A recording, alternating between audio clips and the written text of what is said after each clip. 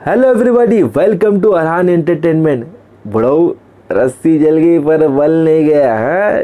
Twitter पे कुछ और हग रहे हो यूट्यूब पे कुछ और हग रहे हो और तुम ऐसे नमूने हो कि तुम्हारे को देख के वो जो दूसरे नमूने वो जो लोग छोटे छोटे नमूने हैं, वो वो लोग भी जो जो हग रहे थे, बराबर से बम्बू गया होगा, है? और वो दिखाने के लिए अब तुम कुछ भी वीडियो बना दो, लेकिन जो चीज़ फैक्ट है वो लोगों को समझ में आता है। और मैं एक ही चीज़ बोलूँगा इस चैनल के थ्रू कि देखिए रिव्यू करने में कोई हर्ज नहीं है। रिव्यू करो, बहुत अच्छी बात है। एक तरह से तुम उस मूवी के बारे में अच्छी और बुरी चीज़ बता के लोगों को सतर्क कर रहे हो कि भाई ये मत देखो, अपना टाइम वेस्ट मत करो। और दूसरी पॉइंट ये है कि अगर मूवी अच्छी तो तुम उसको प्रमोट भी कर रहे हो। तो कहीं ना कहीं तुम दोनों के लिए फ़ायदा करो फ़िल्म वालों के लिए भी और ऑडियंस के लिए भी। लेकिन जब आप अपने चैनल के थ्रू फालतू की हेट फैला रहे हो तो वो चीज़ सीधी सीधी समझ में आती है और ये ऑडियंस को भी समझ में आ रही थी और सल्लू को भी समझ में आ रही थी। तो अब ये चीज़ थोड़ा ज़्यादा हो गया तो उस पर रोक लगाना बहुत ज़रूरी था। ऐसा लगता है कि ये कुत्ते की दूम है, कभी सीधी होने वाली नहीं है। तुम सालों साल इसको अगर एक बॉटल में भी डाल के रखोगे तो वो चीज़ निकल के वैसी ही हो जाएगी। तो कोई फ़र्क नहीं पड़ने वाला, लेकिन खैर, जो होना था वो हो गया, लेकिन अब जो होगा इस वीडियो में वो तो होकर रहेगा। मैं आप लोगों को इतना बता दूँ कि ये एक रिव्यू चैनल ये कोई एक्सप्लेनेशन का चैनल नहीं है, जहाँ पर मैं आपको चीज़ों का एक्सप्लेन करूँगा, ऐसा बिल्कुल भी नहीं है।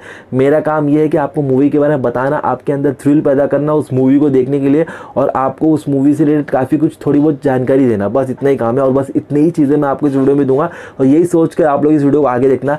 खैर, मैं आप लोगों से कल कम्युनिटी पोस्ट में पूछा था कि भाई बॉलीवुड की तरफ़ से कौन सी अंडर मूवी है? जो रिलीज़ होते ही फ्लॉप हो गई थी बट वो मूवी फ़र्स्ट अटैम्प्ट में समझना इम्पॉसिबल था. इवन फ़र्स्ट तो छोड़ो, कई अटैम्प्ट होने के बावजूद भी बहुत सारे लोग उस पर्टिकुलर मूवी को समझ नहीं पाते, लेकिन जैसे जैसे मूवी लोगों ने देखना स्टार्ट किया, वो आज बॉलीवुड की एक कल्ट मूवी बन गई है. मैं बात कर रहा हूँ नो स्मोकिंग की. हालाँकि उसके अलावा आप लोगों ने बहुत सारी मूवीज़ के नाम लिए, जैसे कि स्वदेश, तुम्बाड़ एक्सेट्रा एक्सेट्रा तो येस वो भी अंडर मूवीज़ में से एक है बट मैंने इस पर्टिकुलर मूवी को सिर्फ़ इसलिए चूज़ किया क्योंकि ये मूवी आपको आपको फ़र्स्ट अटैम्प्ट में समझ में नहीं आती और डायरेक्टर जो हमें मैसेज बताना बताना चाह रहा था इस मूवी के थ्रू वो तो बिल्कुल भी आइडिया नहीं होती है। खैर बिग शाउट आउट देना चाहूँगा उन लोगों को जिन्होंने सही गैस किया कि मैं किस पर्टिकुलर मूवी की बात करूँ तो यार थैंक यू सो मच आप लोगों का कि आप लोग वहाँ पर कमेंट किए और जिन लोगों ने गलत भी गैस किया है, जिन लोगों ने कुछ और अंडर मूवीज़ के बारे में बताया, मैं सब लोगों को रिस्पेक्ट करता हूँ। यार थैंक यू सो मच आप लोग हो तो मैं यहाँ पर हूँ। बात करेंगे इस मूवी की प्लॉट की जो कि फोकस करता है जॉन इब्राहिम के कैरेक्टर के जो कि एक रिच बिजनेसमैन है, वो बहुत ही एरोगेंट है खुद के सामने किसी को कुछ भी नहीं समझता इवन उसकी वाइफ को भी वो पानी कम चाय समझता है। और वो सिगरेट पीने का आदि होता है। वो काम की जगह पे, वो खाने की जगह पे, वो लेने की जगह पे, वो सोने की जगह पे, वो नहाते वक्त हर जगह पे सिर्फ़ और सिर्फ़ सिगरेट पीता है, वो एक चैन स्मोकर होता है। और यही चीज़ के की वाइफ को बिल्कुल भी पसंद नहीं होता। इवन के के फ्रेंड्स भी ये चीज़ पसंद नहीं करते। वो चाहते कि के जल्द से सुधर जाए, वो अपनी ये सिगरेट पीने की आदत को छोड़ दे। इसलिए के का एक फ्रेंड अब्बास उसे सजेस्ट करता है एक प्रयोगशाला के बारे में, जो कि एक रिहेबिलिटेशन सेंटर होता है। यहाँ पर के जाने से सीधा सीधा मना कर देता है, क्योंकि वही के का एरोगेंस वो खुद के सामने और वो अपनी चीज़ों के सामने किसी को कुछ झाड़ भी इंपॉर्टेंस नहीं देता है। लेकिन कहानी में ट्विस्ट तब आता है जब अंजलि के को छोड़कर चली जाती है। तो अंजलि को खोने के डर से वो उस रिहेबिलिटेशन सेंटर यानी कि प्रयोगशाला में जाने के लिए तैयार हो जाता है। अब वहाँ जाने के बाद के की लाइफ में क्या कुछ होता है, कैसे? श्री श्री श्री गुरु घंटाल, बंगाली बाबा, शियाल्डा वाले की एंट्री होती है, यानी कि परेश रावल की। वो सब कुछ जानने के लिए आपको ये मूवी देखनी पड़ेगी। खैर, इस मूवी को लेकर मैं एक ही चीज़ बोलूँगा कि अनुराग कश्यप ने जब इस मूवी को डायरेक्ट किया था तो उससे पहले उनकी दो मूवी को बैन कर दिया गया था वेरियस रीजंस की वजह से। तो उन्होंने ये जो थर्ड मूवी बनाई है, इसमें वो जो मैसेज देना चाह रहे थे, उन्होंने इतना घुमा के दिया कि जो लोग बैठते ना काट छाट करने के लिए, उनको समझ भी नहीं किया मूवी में अनुराग बताना क्या चाह रहा है। और भाई लोगों ने इस मूवी को पास कर दिया और इसके बाद अनुराग की मूवी थिएटर में रिलीज़ हो पाई। लेकिन अनफॉर्चुनेटली ये मूवी थिएटर्स में नहीं चली।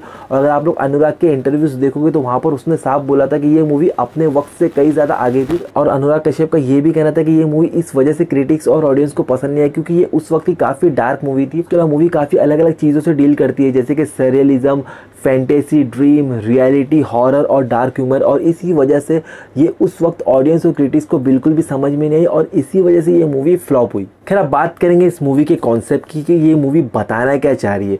तो बहुत सारे लोगों इस मूवी को देखते दौरान ऐसा लगता है कि ये मूवी सिगरेट के ऊपर है कि सिगरेट पीने से कैसे नुकसान होता है। सिगरेट नहीं पीना चाहिए, लेकिन वो लोग पूरी तरह से गलत है और यहाँ पर कश्यप ने लोगों को बहुत बड़ा सीपी बनाया। एक्चुअली ये मूवी ये नहीं बताना चाह रही थी, मूवी ये बताना चाह रही थी कि जब किसी इंसान को किसी चीज़ की लत हो, चाहे वो सिगरेट हो, दारू हो, तंबाकू कोई भी लत हो सकती है, और वो इंसान वो चीज़ को छोड़ना ना चाहता हो, लेकिन फिर भी फोर्सफुली उसके घर वाले या उसके फ्रेंड्स चाहते कि वो वो इंसान ये चीज़ छोड़ दे तो कहीं ना कहीं वो अंदर से कितना अकेलापन, कैसे अधूरापन उसको महसूस होता है, ये चीज़, ये मूवी बताना चाह रही है, और वहीं पर उस इंसान का कैसा दिमाग, एक अलग गेम खेलना शुरू कर देता है, उसके साथ ये सारी चीज़ें बताने का ये मूवी का मेन मकसद था। उसके अलावा मूवी के जो कैरेक्टर उसको इस तरह से लिखा है कि आप थ्रू आउट द मूवी उस बंदे से नफरत करोगे, लेकिन साथ साथ आप लोग ये भी चाहोगे कि यार वो बंदा जिस तरह से जीना चाहता है, उसको वैसे जीने देना यार। अगर तू सिगरेट पीना तो उसको पीने दो। तुम कौन होते हो उसको मना करने वाले तो कहीं ना कहीं एक सिंपथी भी क्रिएट हो जाती है मूवी के एंड में आप उस पर्टिकुलर कैरेक्टर को लेकर, जो कि बहुत ही अच्छी बात है। मूवी में जॉन का कैरेक्टर एमनेशिया का शिकार होता है, जिसमें मेमोरी लॉस होती है और साथ साथ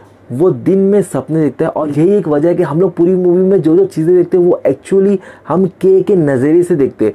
वो जो जो चीज़ें हमको दिखाना चाह रहा है या वो चीज़ जो वो देख रहा है, वो हम देख रहे हैं। और एक्चुअली वो जितनी भी चीज़ें, वो सिर्फ़ और सिर्फ़ के का सपना होता है। रियलिटी में वो सारी चीज़ें हो तो रही होती है, लेकिन वो बिल्कुल अलग वे में हो रही होती है। फॉर एग्ज़ाम्पल जो प्रयोगशाला हमने इस मूवी में देखी है, जो के ने हमको दिखाई है, वो एक्चुअली प्रयोगशाला कोई एक धारावी में बसी हुई, कोई एक ऐसी झुग्गी झोपड़ी के अंदर एक डरावनी जगह नहीं थी जो हमने मूवी में देखी, ऐसा बिल्कुल भी नहीं था। प्रयोगशाला बाकायदा एक अच्छा हॉस्पिटल था, जो कि हम लोग इस मूवी के एंड में देखते जहाँ पर हमें के नज़र आता है। और मैं आपको एक चीज़ बता दूँ, मैं ये इतना दावे से क्यों बोल रहा हूँ? क्योंकि आप लोगों ने प्रयोगशाला देखा जब के एंटर होता है तो वहाँ पर आपको काफ़ी दीवारों पर फ़ोटोज़ दिखते हैं और काफ़ी सिम्बॉल देखने को मिलते हैं, लेकिन वहाँ पर आपको कुछ फ़ोटो फ्रेम भी देखने को मिलेंगे, जो कि ये दर्शाता है कि वो कुछ और नहीं, बल्कि वो डिग्रीज थी जो कि आप लोग क्लिनिक में देखते हो। हो। देखो यार, इस मूवी का एक सिंपल सा फंडा बताओ कि 10 लोग इस मूवी को देखेंगे तो 10 लोग का अपना अपना अलग नज़रिया होगा इस मूवी को लेकर। तो अगर आप लोग मेरे दोस्त से पूछोगे कि उसको क्या लगा इस मूवी को देखकर तो वो कुछ और बताएगा। मुझसे पूछोगे तो मैं कुछ और बताऊँगा और आप तीसरे इंसान से पूछोगे तो वो कुछ और बताएगा। अगर आप लोग अनुराग कश्यप से पूछोगे जिन्होंने इस मूवी की कहानी लिखी है तो वो कुछ और बताएँगे। तो यानी कि ये मूवी को इस तरह बना है कि हर एक इंसान की अपनी एक अलग थिंकिंग हो सकती है इस पर्टिकुलर मूवी को लेकर। अगर आप लोग इंसेप्शन शटर आइलैंड और फाइट क्लब जैसी मूवीज़ की तारीफ़ कर सकते हो कि वो एक हॉलीवुड की मूवीज़ है या वो वाकई में मास्टरपीस मूवीज़ है तो आप लोग को इस तरह की मूवीज़ की भी तारीफ़ करना चाहिए, जो कि हमारी इंडिया में बनी है। और आप लोग तारीफ़ नहीं करते तो इस वजह से अनुराग कश्यप या दूसरे डायरेक्टर्स इस तरीके की मूवी बनाने की कोशिश नहीं करते, क्योंकि आज भी 2021 में भी शायद इंडियन ऑडियंस अब तक प्रिपेयर नहीं हुई इस तरीके की मूवीज़ को समझने के लिए। तो शायद यही एक वजह है कि बॉलीवुड में हमें इस तरीके की कल्ट क्लासिक मूवीज़ देखने को नहीं मिलती है। तो इस वीडियो का एक ही मकसद है कि यार ऐसी मूवीज़ ज़्यादा से ज़्यादा बन सके। खैर, अब हम लोग इस मूवी की और दूसरे एक्सपेक्ट पर बात करेंगे। सिनेमाटोग्राफी बहुत ही औसम थी यार। उस वक्त जो जो चीज़ें यहाँ पर बताई थी वो किसी हॉलीवुड लेवल से कम नहीं थी। बीजेम बहुत ही अच्छा था। विशाल भरद्वाज इसमें जो म्यूज़िक दी थी, वो आज भी घूस बम से लेकर आते हो। स्पेशली वो जो सुखविंदर सिंह का जो गाना है फूक फूक फूक वो मतलब सुनो तो आप अलग ही जोन में चले आते हो। एक्टर्स के परफॉर्मेंस की बात करो तो यार John Abraham one of the best performance उनके करियर का इस पर्टिकुलर मूवी में था। और परेश रावल ने तो यार वो बाबा बंगाली के कैरेक्टर को समझो ज़िंदा कर दिया। उसके लिए मूवी की एडिटिंग बहुत अच्छी थी और डायरेक्शन की बात करें तो डायरेक्शन बहुत ही औसम था। अनुराग कश्यप से आप लोग इस तरीके की मूवीज़ फ्यूचर में एक्सपेक्ट नहीं कर सकते क्योंकि उनको एक ही मूवी बनाने के बाद जो इनाम मिला था, वो इनाम उनको भारी पड़ गया था। मूवी में आपको सरप्राइज़ एलिमेंट्स के तौर पर विक्रम, आदित्य मोटवाने, अनुराग कश्यप और मिर्ज़ापुर के हमारे कालीन भैया की बीवी भी नज़र आती है, जो कि ऑडियंस ने उस वक्त नोटिस नहीं किया होगा। खैर, अगर पेरेंटल गाइडेंस की बात करो तो ये मूवी एडल्ट लोगों के लिए बनाई गई हालाँकि बच्चे और बुज़ुर्ग ये मूवी को देख सकते हैं, लेकिन उनको घंटा भी समझ में नहीं आएगा। साले एडल्ट लोग को समझ में नहीं आया तो उनको क्या समझ में आएगा? मैं इस मूवी को रेटिंग दूँगा टेन आउट ऑफ़ टेन क्योंकि ये मूवी हमारे बॉलीवुड की one of the most under movies में से एक है और इस तरीके की मूवीज़ डेफिनेटली बनना चाहिए फ्यूचर में, ताकि बॉलीवुड भी फाइनली कुछ तो ऐसी मूवीज़ बता सके जो अनइमेजिनेबल थी या बियॉन्ड दी इमेजिनेशन थी। तो यार बस इस वीडियो में इतने आई होप आपको ये वीडियो अच्छा लगा होगा। मिलते हैं नेक्स्ट वीडियो में। तिल देन बाई बाई